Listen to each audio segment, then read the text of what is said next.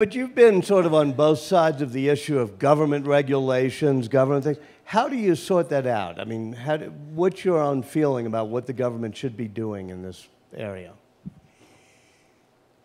I am not a big believer in government regulations. However, there are, there are some issues where I believe they need to step in.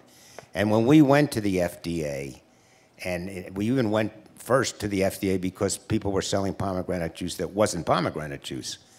And they said, look, we have a lot of sympathy for you, but we don't have, we're worried about people dying.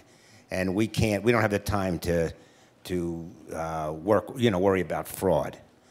Um, the problem is, is that it's a slippery slope. And if you don't have regulation, you don't know what you're eating because, again, I, am sympathetic towards the packaged goods industry in a certain sense because one, I mean, pomegranate juice is, you know, four or five times as expensive as pear juice, let's say.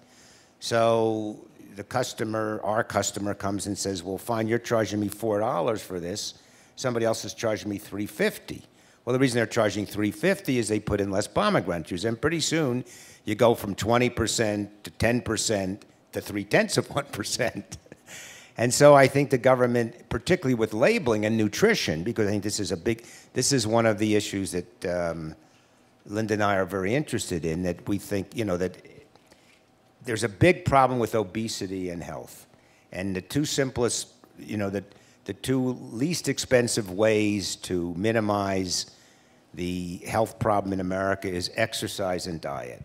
But if you don't know what you're, it's hard enough to diet correctly. At least I find that.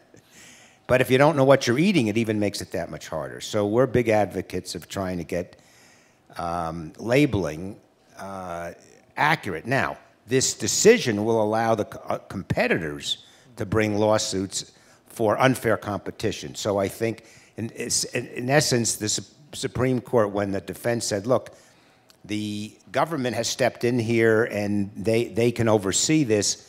The Supreme Court essentially said, look, they don't have time to do it. It's not going to happen. And so this is a way that we believe that the industry can be policed.